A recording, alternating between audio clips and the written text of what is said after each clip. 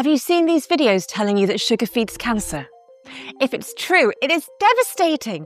Does that mean no more chocolate or sugar in your coffee? I'm Dr. Liz, a breast cancer surgeon, and I don't remember being taught this in medical school. Now, I knew that a lot of sugar was bad for you, but causing cancer? That was new. Did I miss something? Or is this just another viral myth? So in this video, I'll unpack where the claim comes from, what the research really says, and tell you whether cutting sugar can actually starve cancer. But to start, we need to go back to a science lab in the 1920s, when a scientist called Otto Warburg noticed something strange going on. He was investigating how cancer cells get their energy. Now, normal cells get their energy by breaking down sugar into something called ATP. And the easiest way for them to do this is with oxygen. Now, you might hear this called oxidative phosphorylation or OXPHOS in some videos, and it happens in the mitochondria, and they're like the powerhouses in the cell. One glucose molecule makes 36 molecules of ATP, and that's what your body is doing right now whilst you're watching me. But if oxygen is in short supply, like when you're sprinting at the end of a race when your legs are aching and your lungs are burning, your cells have to adapt. This is called anaerobic glycolysis. And one glucose molecule only makes two molecules of ATP. So your cells need a lot more sugar to make the same amount of energy.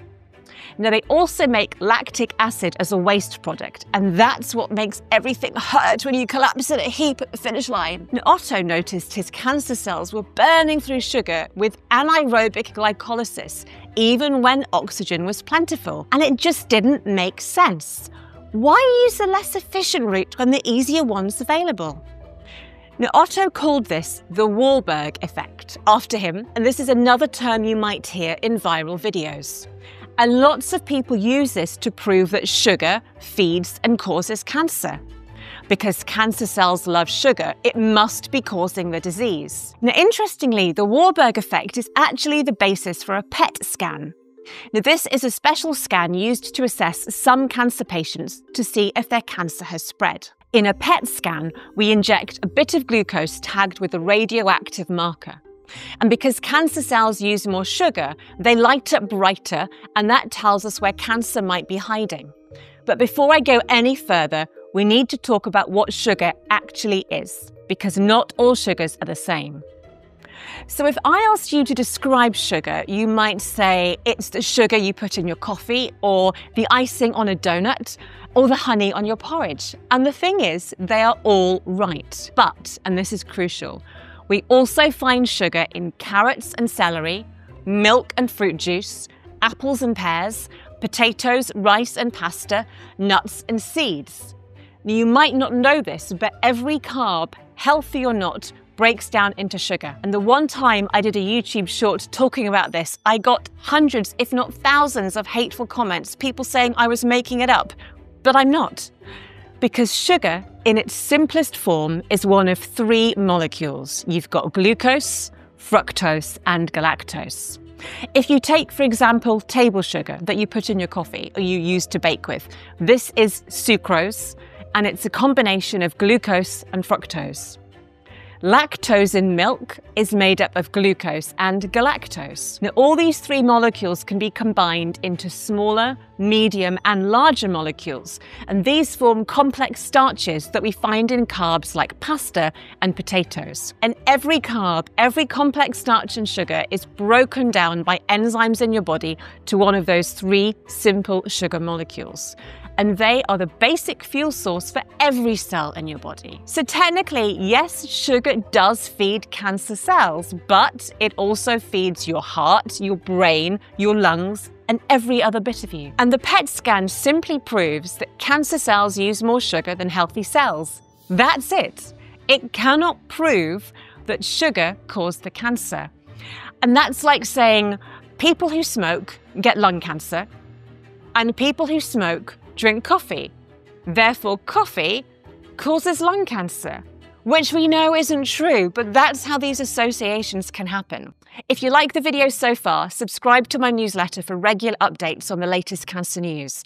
But let's get back to the story. Why do cancer cells make their energy without oxygen in the hardest way possible? Surely they want to grow quickly. Why are they making it so hard? Now, after a bit of digging, I found the answer, and there are two reasons. The first is that cancer cells are constantly growing and dividing, so they need building blocks to make new cells. Those building blocks are called carbon molecules. Think of them like Lego bricks.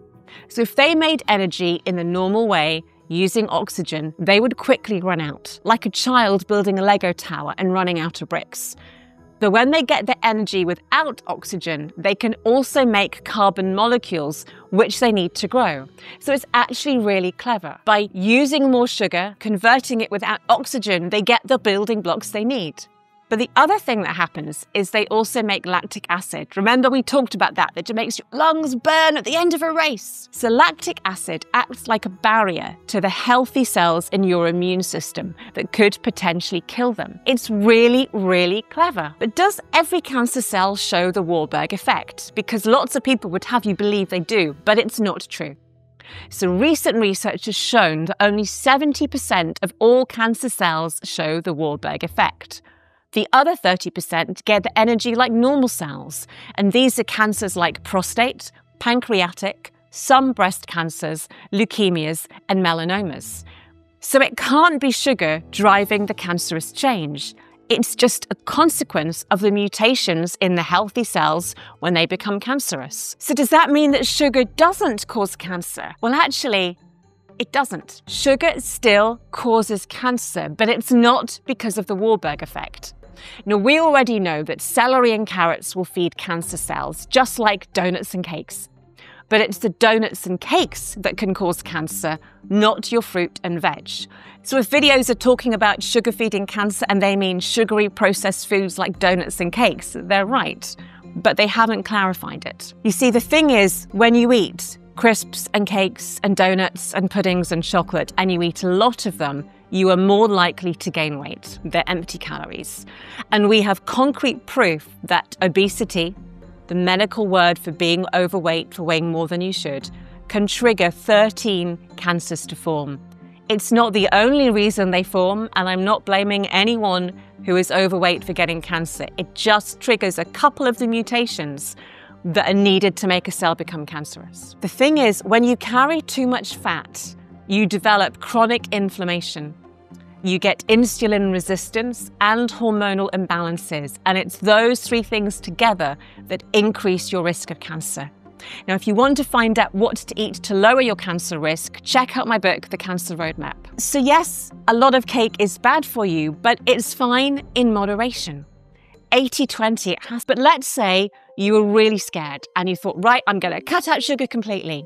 Would that stop cancers growing? You see, when you fast or you cut out all carbs on a really strict keto diet, your body has to improvise and it has stores of sugar called glycogen that it can turn to. That's what people use when they're doing long distance running events and they need to top up the sugar, but they have this glycogen that keeps them going. Now, when you run out of your glycogen stores, the body has to go to step B. It has to find other ways of making energy because your brain, your heart, your lungs, and your muscles need fuel to survive. But when they run out, your body has to find other means of making energy. And that's all your body your heart, lungs, brain, and muscles, not just cancer cells. And your body does this by breaking down your fat stores and then your muscles. It's how people survive on hunger strikes and long religious fasts. And it's much harder to get energy this way, but it can be done. But cancer cells are sneaky and they don't mind what energy they use. They can also break down the tissues next to them to get more energy, so they continue to grow and divide while you lose your muscles to keep your heart, lungs, and brains working. Now, this is called cachexia, and it can happen at the end of someone's life, whether they're dying from cancer or not. You don't have the energy to eat, you feel unwell, your vital organs no longer have the energy they need to keep working. And I get really worried when people who have had surgery to remove their cancer go on extreme keto diets or cut sugar or go on crazy fasts. They may not have any cancer cells left, and all they are doing is simply starving themselves for no good reason because they've believed something they saw online. If sugar was dangerous, every doctor in the world would be telling us to avoid it. And that would be a shame. God, can you imagine a world without a cinnamon bun? But this is all just my opinion from the research I found. What do the experts say? Well, according to the American Cancer Society, the National Cancer Institute, and CRUK, there is no direct evidence that sugar causes cancer. We know that too much sugary food in the diet indirectly increases your cancer risk by promoting obesity, but sugar itself is not a cancer causing agent. So let's clarify Does sugar feed cancer cells? Yes but it also feeds your brain, your lungs, your heart, your immune system, your life. The goal isn't to remove sugar from your body, it's to nourish your body better. Food isn't the enemy, but fear is. And in my own experience, God, the joy of tasting real chocolate again after chemo, it taught me that food can be a source of comfort in desperate times. We should enjoy our treats every once in a while and not feel guilty. And remember that a healthy lifestyle, regular exercise, proper nutrition, and maintaining a healthy weight, they are what truly matter for lowering your cancer risk and reducing the risk of cancer coming back. And if you want to know what actually causes breast cancer, watch this video next. I'm Dr. Liz O'Riordan. Thanks for watching and remember to subscribe to my channel.